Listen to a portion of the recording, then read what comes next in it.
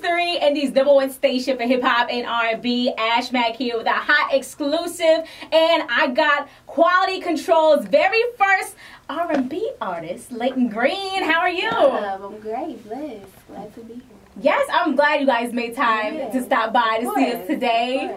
I know you've been busy on the road, so thank you. I appreciate the no time. Problem. No problem at all. So I love the fact that we get to meet you now because we're growing with you. We've been following you. We've met you. I feel like what 2017 with uh, Kodak Black's cover. Okay, yeah, yeah, yeah. Yes, yes, rolling- went viral.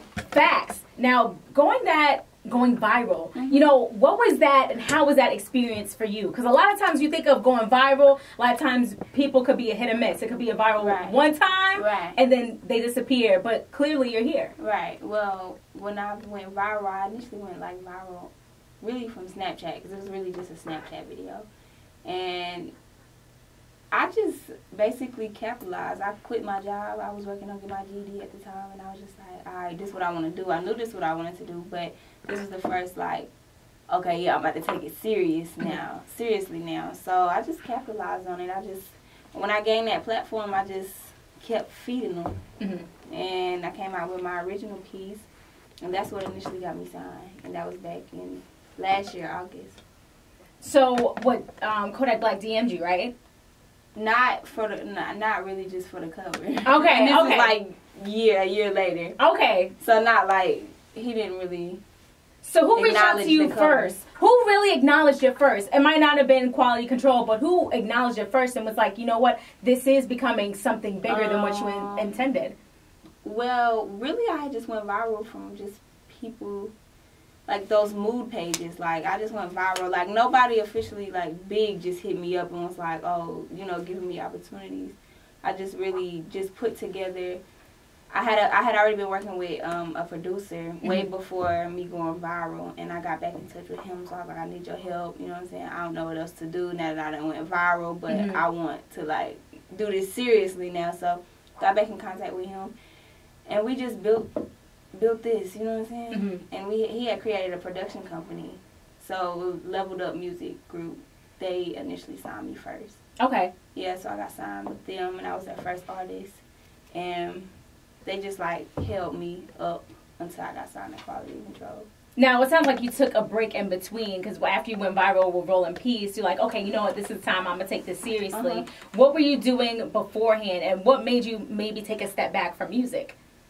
Oh well, I was never really taking it serious, Mhm. so I just always loved music, just always loved singing. I'm really the only one out of my family, so like my parents, they never like just really try to help me pursue. They really weren't in position to help me pursue in it, so no extra programs or you know competitions they were trying to put me in. It was just something that I love to do. I just love singing. Right. And no, yeah, then that viral moment happened, and I was just like, okay, yeah, this is where I want to take it serious. And I was actually working on getting my GD. Like I said, I Mhm. didn't graduate high school, so I was really just trying to get my life on track.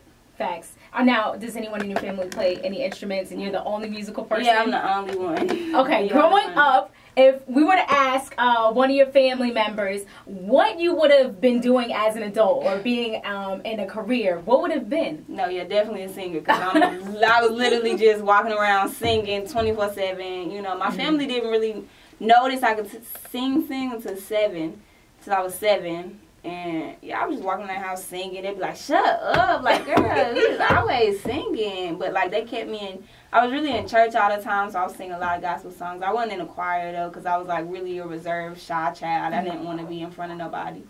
But nah, in the house, I'm just walking around singing. They knew I wanted to be a singer. They knew that's what I wanted to do since I was a little girl. Isn't it dope that you're able to follow your passion though, and and have the the support that you have from strangers, from family, from people you know? You know what I mean? It's a blessing. It's definitely a blessing. I love it. And I'm glad I'm doing something that I love because, I mean, I was going to be trying to survive either way. You know what I mean? I'm a hustler. I was working since I was 15. You know what I'm saying? I just didn't know this would play out the way it played out. And it's Right. God willing, congratulations Thank on your you. success. You. Not only that, you're a part of the powerhouse of quality control music. Like, yeah. how does that feel? Because they're on top of the game. You, along with Migos, along with City Mhm. Girls, with Lil Baby. No, yeah, it's, it's a real feeling. Definitely, it's a real feeling, and I mean, I just feel real good. My team really just really believe in me and they Mhm. genuinely just know I'm gonna go far. So it's just a great feeling. Do you have any pressure though, knowing that you know you're the first R and B queen? a little bit, but I'm putting that on myself. You know what I'm saying? Yeah. Because my team, they really are supportive and they know they just really believe in me. Facts. QC and P and Coach, like they always telling me, they really believe in me. So who re- reached out to you first? Both of them. Both of them did. Yeah, um, through DM. Coach K DM me, and then I seen P DM me too.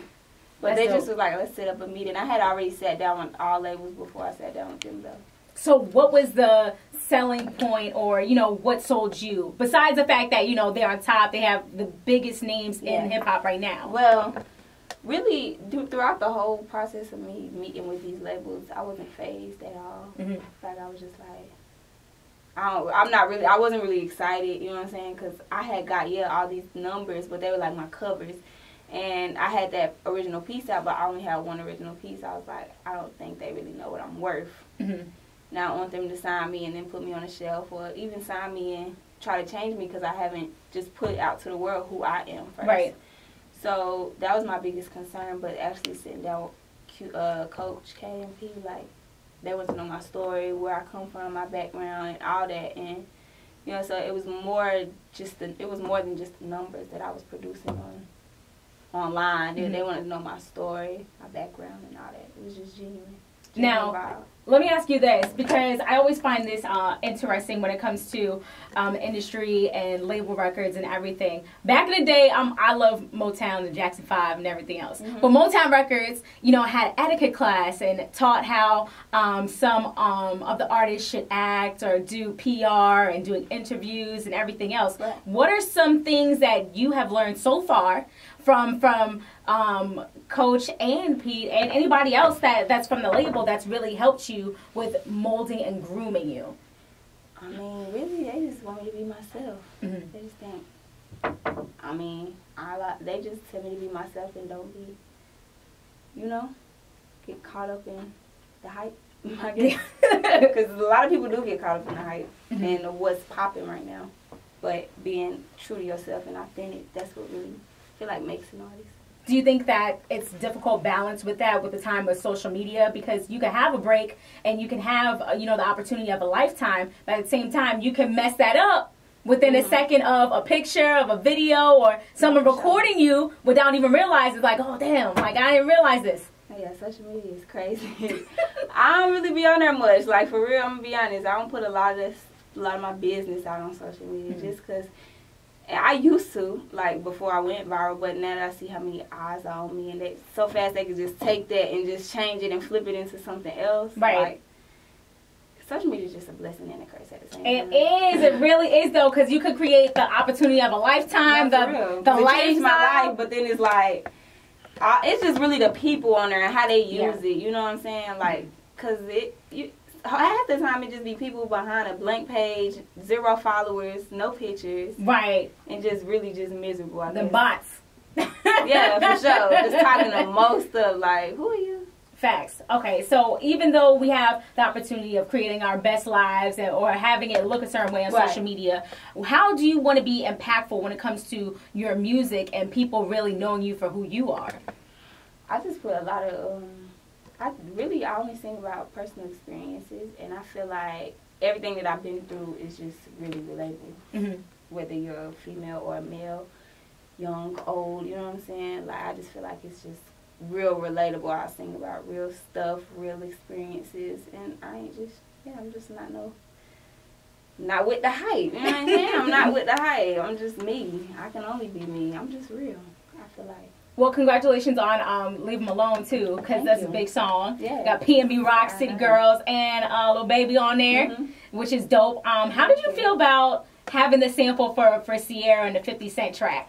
Oh man, I first of all I love the original, love it, and nah, it's just a dope song. It just I wanted a summer bop. You know what I'm saying? A lot of my songs, like I said, is real slow and mid tempo. So, and I can relate. Obviously, I've been in love with a dope boy. I just thought it was a dope track. Let's do it again. So let let's do it again. Once a hit, always a hit. Huh? um, let's let's switch it up though. Let's take love out the equation. Okay. What are what are five things like uh, you can't leave alone when it comes to you being on the road? Oh, when I'm on the road. Yeah, because you've been phone- traveling. My phone, my AirPods. I'm saying it right now because they sitting right here. Facts. Um, I've been eating hot Cheetos like a mug. I. Oh, I can't listen. Hot Cheetos and for me, monsters. Hot Cheetos and monsters. Okay, no, your drink. stomach be messed up. No, that. that is a breakfast of a champion. I know. Oh Lord, monsters and hot Cheetos. I get the extra hot Cheetos though. That that's where do we find these at? Yo, they at Walmart, I think. Extra hot Cheetos. No, they're extra. They're in like a black bag. oh I no, I have not seen. No, I have to get those. for sure. They're the best. Like it's just covered in it. Just- Oh my gosh. I don't That like regular hot. Cheetos no more. Oh. Yeah, so I need the extra hot Cheetos, water, water. Gotta stay hydrated. And my cover, I got a cover I've been carrying around lately. Just feel it, you know. Random, did you hear about the fact that they're gonna have a Hot Cheetos movie? It's in the works. It's that's crazy, right? A hot Cheeto movie. I didn't ask for this, but I might watch it. I'm gonna watch it, but I'm just trying to figure out what's the motive. Right. What, I didn't ask for this, but what's the message behind this hot Cheeto movie? Like, what? I can, uh, I could only imagine. I Well, they made a sausage party movie. They ain't gonna make any movie. right. Then Forever 21 had the clothing line for Hot Cheetos too, so you never Oh yeah, know. yeah, yeah. They did. There might be a franchise here and everything else. I don't know. Maybe it's a story we, we, we don't know clearly. I'm tune in though. but we get back to your story. Okay, so um, being signed to quality control, what are some of the biggest lessons that you've learned so far from the ladies on the label? Oh. Oh. Ladies. right. Dang. I mean, really, the la- uh, like the city girls, on they don't care about what nobody think. Mhm. You know what I'm saying? They put themselves out there twenty four seven, and they don't care about what nobody's saying. Just how look, just look how much success they got. Right. I mean, just being real. You know what I'm saying? Like I feel like all the levels of QC are just real, just themselves, and they've come far. But what I love right now with QC and all of hip hop and the music industry right now, we're seeing the time of the women Mhm. coming together, and whether it's R and B, whether it's trap and soul, neo soul, hip hop, and the artists, everyone is coming together and they're owning who they are Yeah. and being unapologetic about Right, it. right. And and that's what I love seeing with everyone together. So Mhm. so how are you feeling being a part of that that movement, especially when it comes to now you be wanting the names of being um the names that, that are mentioned in R and B and when it comes to mainstream too. Um, well, uh, I really haven't. I mean, it's just all surreal. I don't know, honestly. I don't know. Just a blessing, I guess. Has to be. Yeah, it's a blessing. Definitely is. Okay. So what are some or who are some artists that you would love to work with? Some other female artists. Well, female artists, Summer Walker, love her vibe. Um, Cardi, of course. Um, right now, I'm really liking Megan. Yes. Yeah, Megan Stallion, love her. And Kehlani, love Kehlani. Yes. Yes. Definitely dope. Okay. Let's see here. Now, um you said that you did hear from from Kodak Black though, right? Just on a different tip. Okay. My my question to you being that you're signed to quality control, after he made his statements about Yung Miami, how did you feel about that and did you ever speak to him about it? Oh, well, I don't talk to Kodak. Yeah. Um, he yeah he just DM me on Twitter like a random emoji type. He was just trying to holler. But um, no, yeah, that that was an ignorant statement. It Especially was. with her being pregnant. You know what I'm saying? And nah, yeah, that's just ignorance. And really, I, I just mm, just kind of block all that out. He Do you think- sometimes even now in 2019 it's difficult for men to see women be successful and be mothers at the same time and you know like it, i don't know i just feel like i don't we're seeing more of women owning who they are Mhm. but at the same time it's difficult for them to acknowledge the fact of you can be a mom you can be black and still be successful and be on top of the world Right. Maybe it could make them feel some type of way, but You know what I'm saying? Because women are kind of dominating right now. Yeah, we are. yeah, yeah, yeah. Maybe make them feel a little bit smaller than what they are, but I don't know. I don't know what these men be thinking. I don't know either. I don't know. Maybe you got a song for it. maybe, maybe, maybe so. You got a song for it? Okay, speaking of songs, I just saw you dropped a video for I Love You. I did. Okay, you got Tariq from Power in there. Yes, I do. Shout out to him. Do you watch Power? I haven't watched the episode. No, I don't. We have to come back to this conversation. I After you haven't watch watched the episode. Okay, we have to come back to this. No. Yeah. Okay, well, speak- I'm, I'm, I'm, gonna- get into it. Don't Okay, worry. good. So then you could call me and be like, Yeah, I look, got you. Ash, got we got to you. catch up. We got to talk about power. I got you. okay, now when it comes to I love you, is there anyone that you loving right now? Ah. well, um, you know, I don't really be. Don't kiss and tell. Okay, that's I, a good way. Keep it in my pocket. Keep it cute. keep it cute. Yeah. Yeah, just in case it don't work out. You know. Hello, speak on it. now September is right around the corner, and you have an EP coming out. I do. It's a seven song EP called Tell Your Story. All me, no features. It's Okay. just real personal. I, like I said, I feel like a lot of people gonna relate, and yeah, Was it a personal choice to have like no features on the EP? yeah, kind of. It was just like I just wanted all me. You know, I had this song I would leave them alone with three features on there, so I was just like, alright, it could just be all me. On this project, I just really want to get across who Layton Greene is before getting into all of that, because I got my whole career to collab. But I have collab with certain artists already. So yeah, album coming top of 2020. we can talk about that later. Okay. I feel like that's such a brand name. You have a cool name. That's your na- real name, right? What Layton Greene? Yeah. I feel like you could have like a Crayola color. For real? Yeah, My Layton mom was gonna name me Sage Green because my brother's name is Hunter, so that's a color. Ah, yeah, that she was gonna name me. Sage Green, and that's also a color. But she said like someone walked in the hotel room and, or not the hotel, the hospital room, and his name was Leighton on his badge, and she was like, "Oh nah, that's too pretty to be a, a boy's name. I'm about to name Oh. you Layton." That is gorgeous. It's a beautiful name. Thank you. It really is. No, that's a brand name. Like here's I hated my name growing up. I'm not. I'm gonna be Why? honest. I don't know. I was like Layton. Like what? what who is Layton? Like you.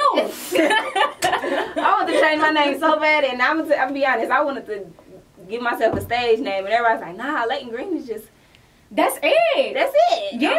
like, okay, okay.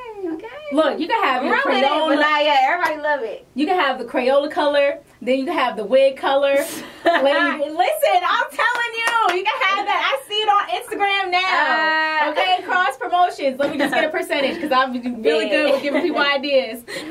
No, no, super dope. But outside of music, um, what, what else can we expect from you? What else would you love to do? Um, I want to be an actress. Bad, you know what I'm saying? I want to be in these movies, some type of show. I'm trying to get on there real soon. Somebody show. Somebody there. show. Hop on there, you know what I'm saying? Make an appearance. I also want to model. Mhm. And yeah, own a few businesses. My I about to get my mama food truck so she can run that. Oh, that's nice. Cause she love cooking. So where's your family based at now? Well, my mom lives with me. Okay. Um, my dad lives in. I'm from East St. Louis, so Mhm. he lives in East St. Louis still. And my brother, he's stationed in Virginia. Well, not stationed, but you know, living in Virginia. Okay. I went to school in Virginia, so I understand that area. 757, what's up? Yeah, That's what's up. Okay, now how proud is your family of you though?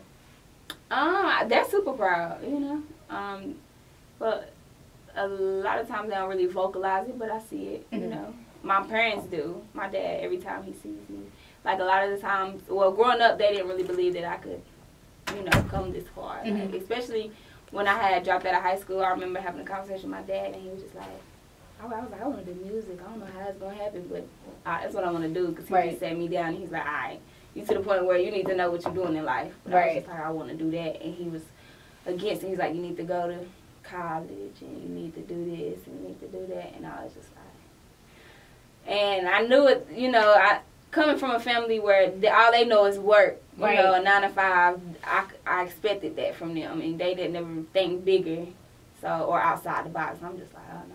It's the only one thinking like this. I'm like, I don't know how it's gonna happen, but yeah, my dad he he thanks me every time he see me. He be like, "Thank you for not listening to me." Right. But you know what you probably did though? You probably sparked something new or planted a new seed in your Yeah. parents and Yeah. inspired new hope. You know For what I mean? Because I feel like even with my pa- parents and grandparents, a lot of times we all have parents and Mhm. families that are built with structure Mhm. and used to having just a nine to five Right. and being able Right. to financially provide for the family. And you need to do the same For thing. sure, You know, at the end of the day. Mhm. So, um, what do you think was the biggest struggle that you were able to bounce back from that helped you get here? Mm, the biggest struggle. Well, I would say when I went home, we was, we went homeless with my mom, my brother. This is after my mom and my dad had separated, and we was living in a motel. And my mom, she really suffers from bipolar depression, stuff that she went through in her childhood, and so like she's just like real kind of negative, and I'm just like completely opposite. Mm-hmm.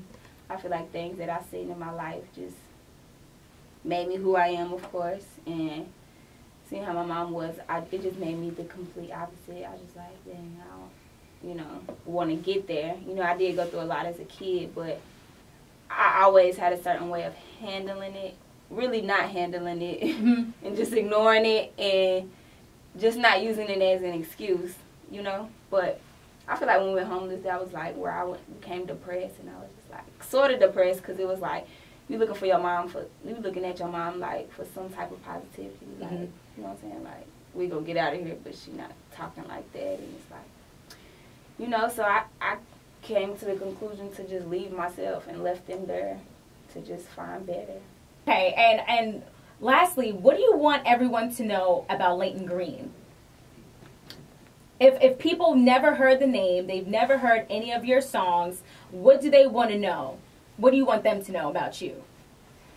Um, just an everyday girl, just singing about real stuff. You know what I'm saying? Just real authentic. Not trying to sugarcoat nothing. Just me. Popeyes or Chick Fil A? Which one? Don't sugarcoat it. You real. Popeyes. Popeyes. That's it. Did you have a chicken sandwich? I haven't.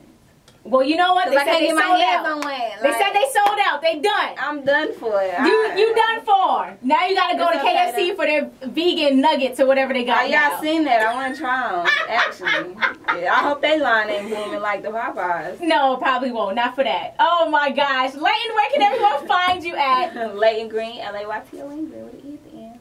Perfect. Well, thank you so much for your time Thank today. Come back anytime. Anytime, yes, for sure.